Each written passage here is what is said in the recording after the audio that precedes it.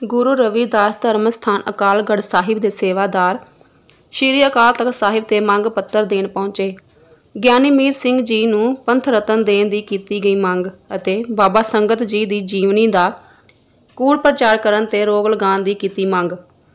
ਅੱਜ ਸ੍ਰੀ ਗੁਰੂ ਰਵਿਦਾਸ ਧਰਮ ਸਥਾਨ ਅਕਾਲਗੜ੍ਹ ਦੇ ਸੇਵਾਦਾਰਾਂ ਵੱਲੋਂ ਸ੍ਰੀ ਅਕਾਲ ਤਖ਼ਤ ਸਾਹਿਬ ਦੇ ਜਥੇਦਾਰ ਗਿਆਨੀ ਹਰਪ੍ਰੀਤ ਸਿੰਘ ਜੀ ਨੂੰ ਇੱਕ ਮੰਗ ਪੱਤਰ ਦਿੰਦਿਆਂ ਗਿਆਨੀ ਮੀਤ ਸਿੰਘ ਜੀ ਨੂੰ ਪੰਥ ਵਿੱਚ ਬਣਦਾ ਮਾਣ ਸਤਿਕਾਰ ਦੇਣ ਅਤੇ ਭਾਈ ਸੰਗਤ ਸਿੰਘ ਜੀ ਦੀ ਜੀਵਨੀ ਬਾਰੇ ਕੂੜ ਪ੍ਰਚਾਰ ਕਰਨ ਤੇ ਰੋਕ ਲਗਾਉਣ ਦੀ ਮੰਗ ਕੀਤੀ ਗਈ, ਜਿਸ ਤੇ ਜਥੇਦਾਰ ਸ੍ਰੀ ਅਕਾਲ ਤਖ਼ਤ ਸਾਹਿਬ ਵੱਲੋਂ ਜਲਦ ਹੀ ਗਿਆਨੀ ਮੀਤ ਸਿੰਘ ਜੀ ਨੂੰ ਪੰਥ ਰਤਨ ਨਾਲ ਸਨਮਾਨਿਤ ਕਰਨ ਦੀ ਗੱਲ ਕੀਤੀ ਗਈ। ਉੱਥੇ ਹੀ ਬਾਬਾ ਸੰਗਤ ਸਿੰਘ ਜੀ ਦੀ ਜੀਵਨੀ ਬਾਰੇ ਹੋ ਰਹੇ ਕੂੜ ਪ੍ਰਚਾਰ ਤੇ ਵੀ ਚਰਚਾ ਕਰਨ ਦੀ ਗੱਲ ਕਹੀ ਗਈ ਹੈ।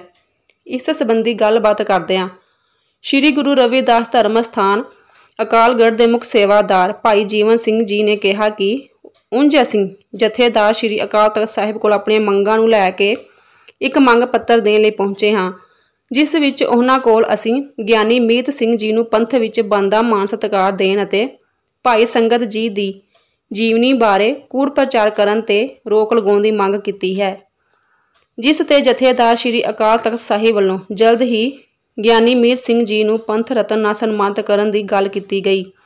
ਉੱਥੇ ਹੀ ਬਾਬਾ ਸੰਗਤ ਸਿੰਘ ਜੀ ਦੀ ਜੀਵਨੀ ਬਾਰੇ ਹੋ ਰਹੇ ਕੂੜ ਪ੍ਰਚਾਰ ਤੇ ਵੀ ਵਿਚਾਰ ਚਰਚਾ ਕਰਨ ਦੀ ਗੱਲ ਕਹੀ ਗਈ ਹੈ। ਬਾਈਟ ਭਾਈ ਜੀਵਨ ਸਿੰਘ, ਮੁੱਖ ਸੇਵਾਦਾਰ ਨਾ ਸਟਾਰ ਟੀਵੀ ਦੀ ਇਹ ਰਿਪੋਰਟ।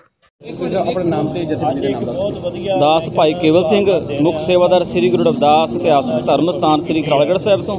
ਅੱਜ ਅਚੇਚੇ ਤੌਰ ਤੇ ਗੁਰੂ ਰਾਮਦਾਸ ਜੀ ਦੇ ਘਰ ਹਰਮੰਦਰ ਸਾਹਿਬ ਤੇ ਅਕਾਲ ਤਖਤ ਸਾਹਿਬ ਨਤਮਸਤਕ ਹੋਣ ਲਈ ਆਏ ਸਾਂ। ਸੋ ਅੱਜ ਅਸੀਂ ਇੱਥੋਂ ਦੇ ਜਿਹੜੇ ਮੁੱਖ ਸੇਵਾਦਾਰ ਨੇ ਜਥੇਦਾਰ ਨੇ ਭਾਈ ਹਰਪ੍ਰੀਤ ਸਿੰਘ ਜੀ ਉਹਨਾਂ ਨੂੰ ਮਿਲੇ ਤੇ ਉਹਨਾਂ ਨੂੰ ਲਿਖਤੀ ਅਸੀਂ ਅੱਜ ਜੋ ਜੋ ਮੰਗ ਪੱਤਰ ਦਿੱਤਾ ਉਹਦੇ ਵਿੱਚ ਸਾਡੀ ਜਿਹੜੀ ਪਹਿਲੀ ਮੰਗ ਸੀ ਕਿ ਗਿਆਨੀ ਦਿੱਤ ਸਿੰਘ ਜੀ ਨੂੰ ਬਣਦਾ ਮਾਣ ਸਤਿਕਾਰ ਜਿਹੜਾ ਦਿੱਤਾ ਜਾਵੇ। ਔਰ ਗਿਆਨੀ ਜੀ ਨੇ ਮੌਕੇ ਤੇ ਆਖਿਆ ਕਿ ਇਸ ਗੱਲ ਨੂੰ ਬਹੁਤ ਜਲਦੀ ਵਿਚਾਰ ਕੇ ਔਰ ਇਸ ਨੂੰ ਅਮਲੀ ਰੂਪ ਦੇਵਾਂਗੇ। ਭਾਈ ਸਾਹਿਬ ਜਿੱਤ ਸਿੰਘ ਜੀ ਨੂੰ ਜਿਹੜਾ ਹੈ, ਪੰਥ ਰਤਨ ਦਾ ਅਵਾਰਡ ਦੇਵਾਂਗੇ।